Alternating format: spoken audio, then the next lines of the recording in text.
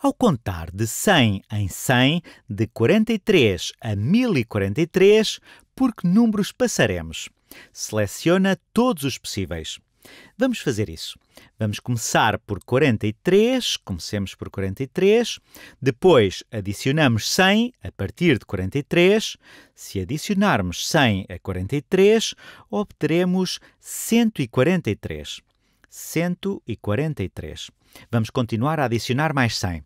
Se adicionarmos mais 100, passaremos a ter duas centenas, duas centenas e 43, ou 243. Continuemos a adicionar 100.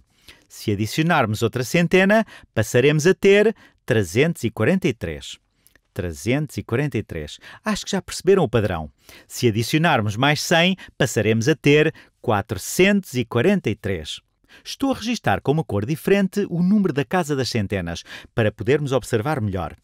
Se adicionarmos mais 100, passaremos a ter 543.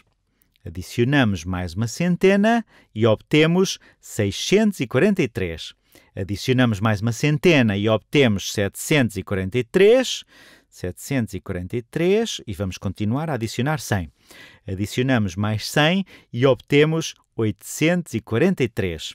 843. Ao adicionarmos mais 100, ficamos com 943. Também podemos dizer que é 9 centenas e 43 unidades, ou ainda 9 centenas, 4 dezenas e 3 unidades. Vamos adicionar mais uma centena. Se adicionarmos mais uma centena, passamos a ter 10 centenas e 43 unidades. 10 centenas e 43. Mas 10 centenas é o mesmo que mil. Então lemos este número como 1043. É até aí que o exercício nos pede que contemos. 1043 é o mesmo que 10 centenas e 43 porque números passamos ao contar de 100 em 100, de 43 a 1043. Não passamos por 44. Também não passamos por 123, mas passamos por 143. Passamos por 143. Passamos por 543, passamos por 543 e passamos por 843. Passamos por estes números.